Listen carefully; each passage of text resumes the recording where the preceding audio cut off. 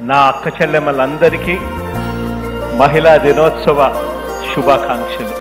నీ కాటుక కనులు విప్పారకపోతే ఈ భూమికి తెలవారదుగా నీ గాజుల చేయి కదలాడకపోతే ఏ మనుగడ కొనసాగదుగా. ప్రతి వరుసలోను ప్రేమగా ఉన్న బంధమా? అంతులేని మీసమా?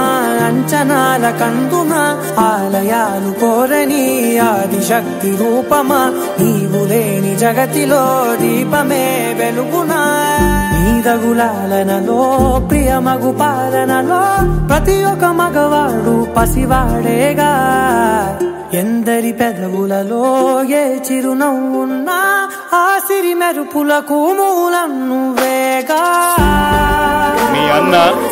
మీ తమ్ముడు మీకు తోడుగా ఉన్నాడు అన్నది మాత్రం మర్చిపోవద్దు అని ప్రతి తల్లికి నేను ఈ వేదిక మీద నుంచి తెలియజేస్తా ఉన్నాను.